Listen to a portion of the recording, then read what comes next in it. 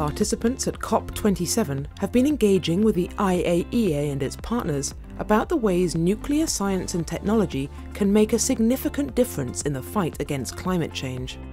The UN nuclear body had its own Atoms for Climate pavilion at the conference in Egypt this month, for the first time ever at a COP event.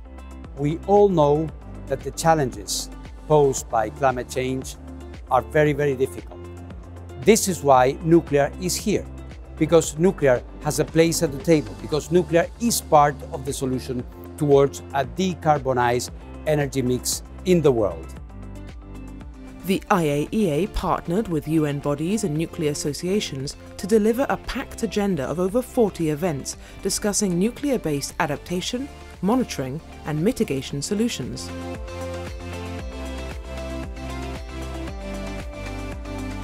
IAEA experts also participated in other development partners' events and connected with young advocates who are using innovative ways of explaining the benefits of nuclear. So when playing Megawatt, students learn all about the energy system as a whole uh, and nuclear as part of it. So there's no emphasis on nuclear at all, but as they play the game, they learn themselves as they try and create a grid how important nuclear is as part of the mix.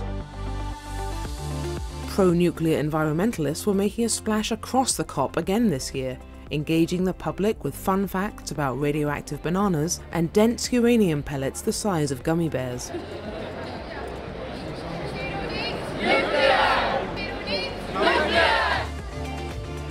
Their flash mob, Workout for Climate, attracted considerable public and media attention.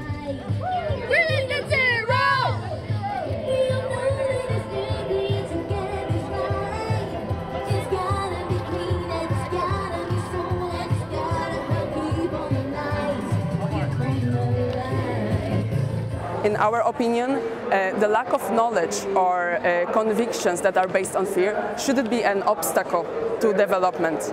That's what we are trying to work on, education and uh, giving source of information to anybody who is able to listen.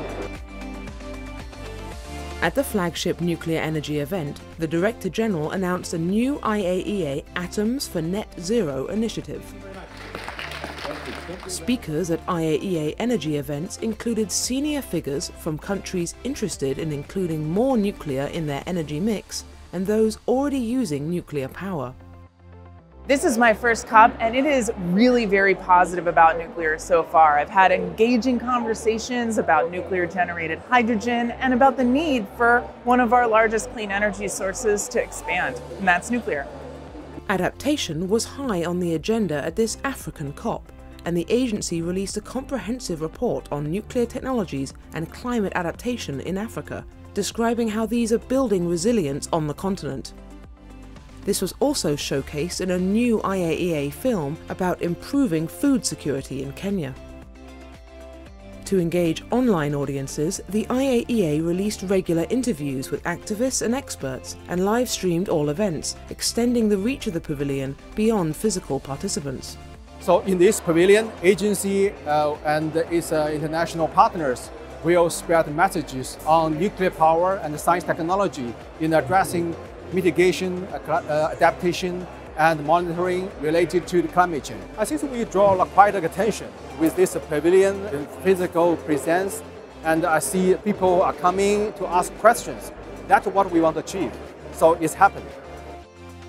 Next year's COP will be held in the United Arab Emirates, and Mr. Grossi met with the country's Conference Director General to plan an active engagement. The UAE is the first country in the Middle East and North Africa region who integrated nuclear with renewables in their net zero strategy.